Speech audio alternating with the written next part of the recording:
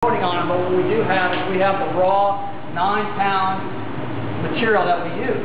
Now these have been in there at 2200 degrees for hours. So you'll see they're blazing, blazing hot. Now most things if you put in an oven, like if you put a, a frozen pizza in, it would, it would disintegrate after a couple minutes. Well, these things have been in there hours.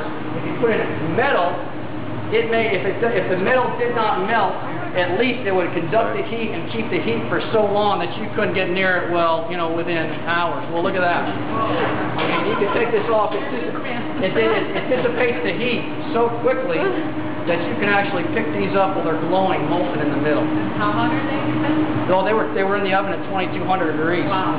So you can go ahead. Uh, you can pick them up and take a picture. Just make sure you don't pick it up on the edges, just at the at the corners, just at the corners. I mean, you, I mean, I just don't want to get anybody. Uh, yeah, there you go. That's, that's it. That's it. That's perfect technique right there. now you'll feel the warmth, but yet you can touch it. I mean, imagine at 2,200 degrees. Yet now. Yeah. And the difference with the densities is you'll see these lower densities. You'll see, you know, you'll see how they can dissipate the heat. Well, look at that. That's the 22 pound per cubic foot. It's going to glow for hours. You could come back after dinner and, and roast marshmallows on that. But uh, these emit the heat really rapidly. I mean, a good example of how this works is that the, when, the, when the shuttle comes in, it gets up to about 2,500 degrees. But yet, the surface of the